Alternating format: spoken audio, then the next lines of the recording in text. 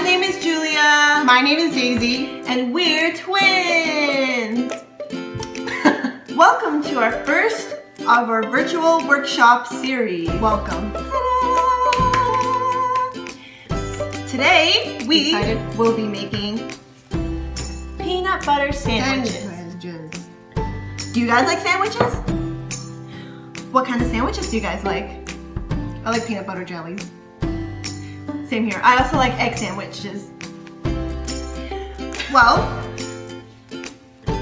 first off, what do you guys think we should do? Right, we should be washing our hands first. hint. 20 seconds, soap and warm water. Okay, we're waiting for you until you finish washing your hands, and then we'll be right here.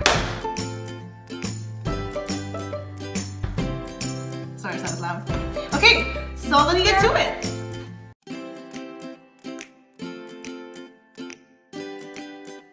And Welcome back. off, we will need two slices of bread.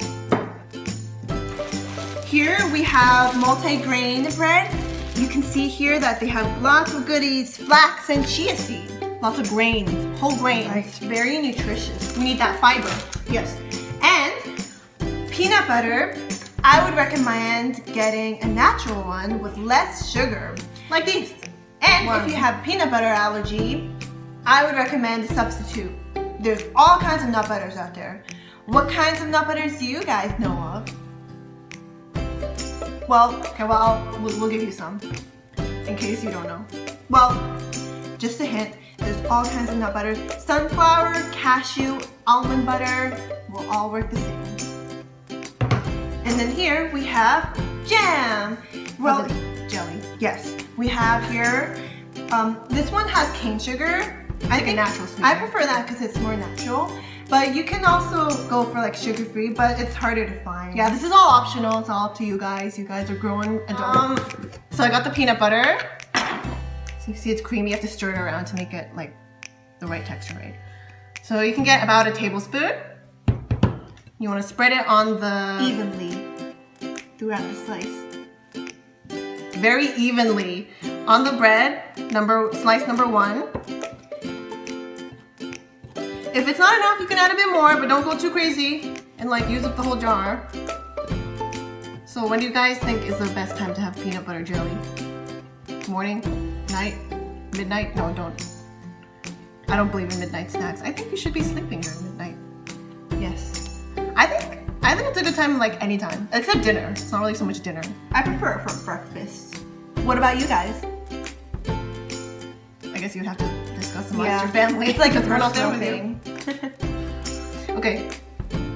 Bread number one is done. You can put your knife aside because you don't want to dirty your jam. So you can grab knife number two and get some jam. So open that up. The lid aside and then you want to grab same things as the peanut butter. So maybe about a tablespoon of jam. That's probably, yeah, that's More, probably a bit more more. so like one and a half tablespoons. spread evenly. So you want to like distribute it to eat to like all the corners and stuff. Make sure all of the bread is being covered. Okay.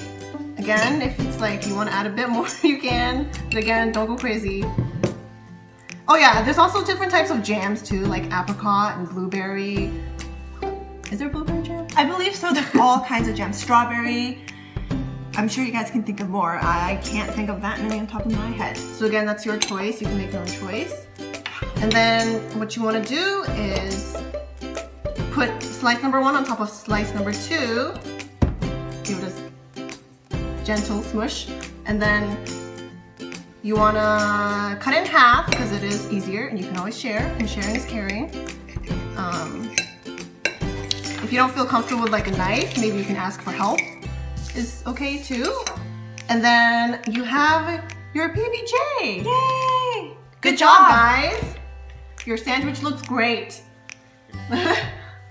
okay, so um, last step is to always tidy up because you need a clean area to work in your kitchen or wherever you're cooking. It's probably the kitchen though.